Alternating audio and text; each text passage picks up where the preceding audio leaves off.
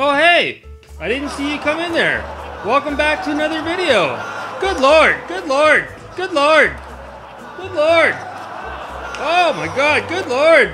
Take a sip of my Eska water here.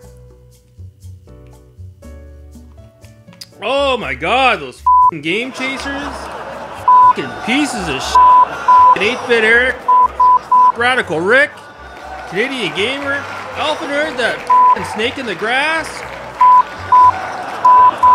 Good lord, good lord, good lord! What's going on, guys? Today's video, we're going to be talking about not Eska water.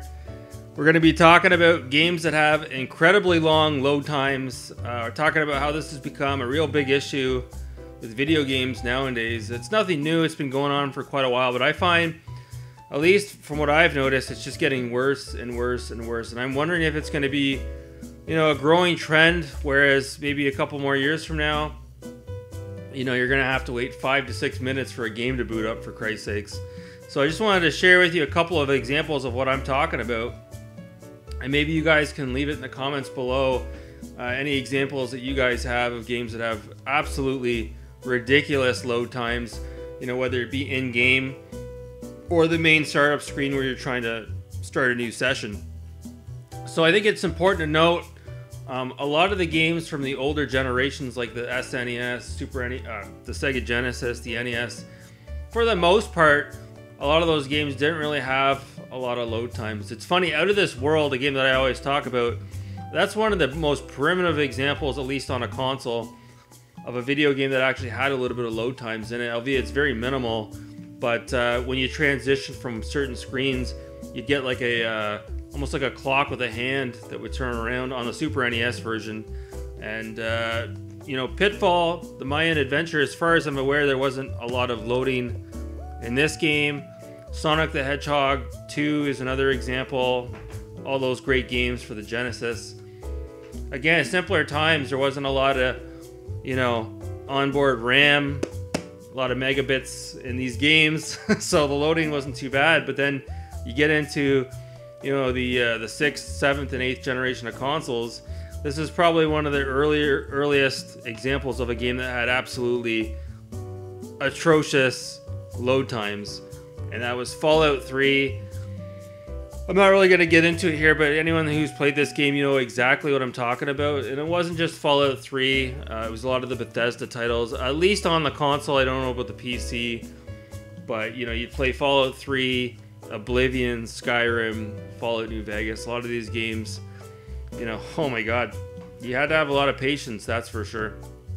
Another one, when you start a new track, you get stuck on a, a screen with your car and it's loading, would be Forza Motorsports 4. Great game, but there's no there's no denying it takes a lot of the Xbox 360 horsepower to get this game running because, like I said, the transitions, the screens from uh, the menu to when you get into the game, it, it, takes quite a while. Now, these are not even the worst examples. I mean, there's other ones I could go into.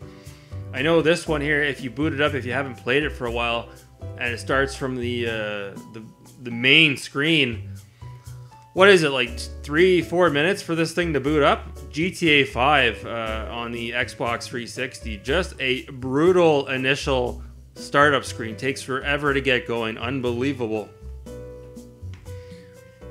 Same goes for red dead redemption 2 uh, again the initial screen just to get into the game or if you die and it has to reload. There's some serious serious loading issues with this game. It does take forever. It's just, it feels like forever. It's just brutal. I wish there was a way we could get around that.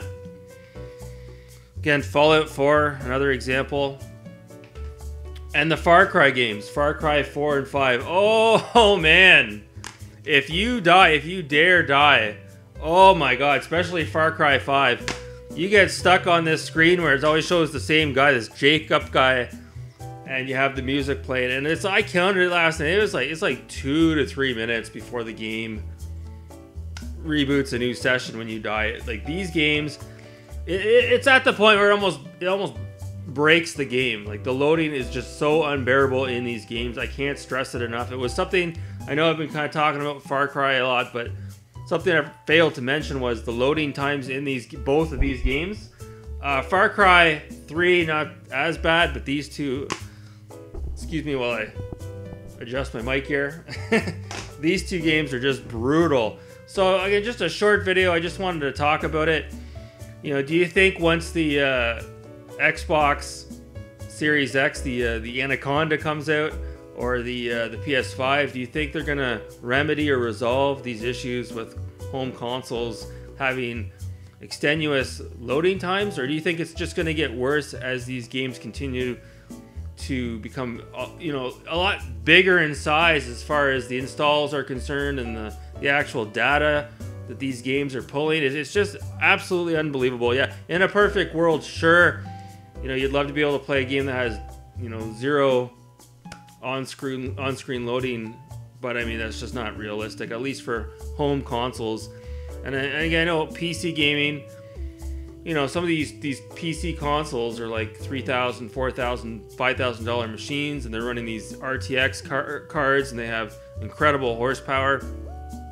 Regardless of how powerful the next Xbox or the the next PS PlayStation console or Nintendo console is going to be, it'll never be at that level of what the the PCs are capable of. It's just it's just what it is. These these consoles are, are budget consoles. So yeah, I don't know. It's something I wanted to talk about. It's been bugging me for a while, especially playing Far Cry 5. It's just you die quite a bit in this game, at least I do, and it's a it just takes the wind out of your sails when you get kicked back to that loading screen with Jacob and the music, and it it just man, you're you're sitting there with your controller and you just want to get back into the session, and it's like it's just stalling and stalling and stalling. So it's just just brutal. Good lord, good lord. so that's gonna do it. Leave in the comments below your opinion on this. Am I blowing this out of proportion? Uh, are there any games that you guys would like to mention? I know I didn't mention a lot here. This is just off the cusp. But if there's a few games you guys want to mention, leave it in the comments below and maybe we can get a conversation going. So, again, I'm going to finish this bottle of Eska water. It's really refreshing and I'm gonna cool off. It's still pretty hot outside as well. So, as always, guys, thanks so much for watching. You people are wonderful and beautiful. You take care.